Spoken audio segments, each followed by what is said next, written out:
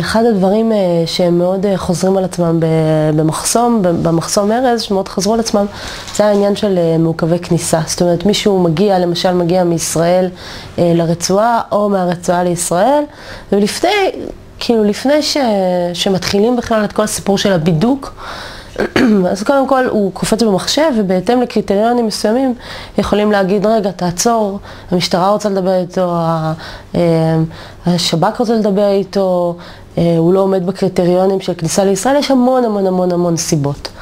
הייתה אישה אחת אה, שהייתה מעוכבת כניסה לישראל היא עברה אה, תשאול ביטחוני וכולי, עברה את כל מה שהייתה צריכה לעבור, היה חסר לה עוד איזה אישור אה, אחרון, חיכתה שעות במחסום.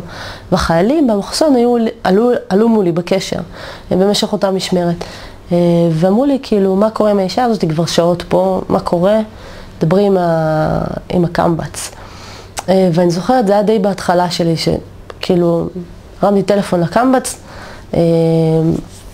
ובאיזשהו שלב אמרתי לו, תשמע, היא מחכה שם כבר שעות, אה, מה לעשות איתה? אה, והוא ממש צעק עליי, הוא אמר לי, כמה שעות היא מחכה?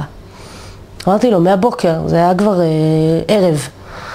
אמר לי, מהבוקר? עד שהיא לא מחכה שם, הוא זרק איזה מספר כאילו, אה, כפול שעות, אל דברי איתי בכלל. כאילו מה, את מציקה לי באמצע ארוחת ערב על איזו אישה פלסטינאית שמחכה. כאילו, וזה היה בתחילת השירות שלי, וזה עשה לי לקח מאוד מאוד טוב. כאילו, זה שהם מחכים זה חלק מהסיפור, אם לא הבנת. אה, ובאמת היא נשארה שם עוד הרבה שעות. אה, היה סיפור אחר שגם הייתה אה, מישהי במחסום שהמפקד ישן באותו זמן, לא רצינו להעיר אותו, כאילו מישהו יכול לחכות שם שעות כמפקד ישן. אחר כך הבנתי שכאילו, בשביל להיות שם אז צריך לשבור, לשבור להם את הרוח, לשבור, לשבור אותם.